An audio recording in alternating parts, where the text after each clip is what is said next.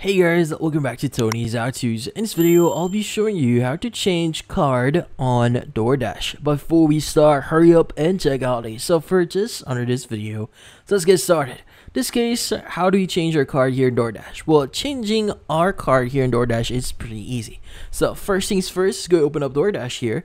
And from here, you want to access your account at the top right uh, of your screen. Let's go and click on our profile icon. Now from here, what we need to do is we need to look for the option that says payment methods. Let's go and click on it.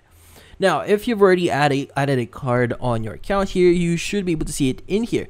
But in this case, if you want to add another, or in this case, uh, have a backup card here, you can just click on the add payment method here or the credit slash debit card option.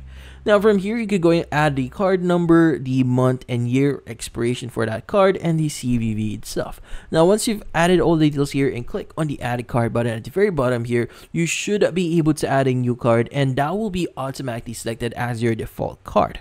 Now if you want to change cards here, like for example, you already have two cards in your account, you could go and just click one of the cards here that you want to make as your default payment and from then on you should be able to use it. And that's about it. So, if you found this video, we'll hit the like and subscribe button and watch our next video.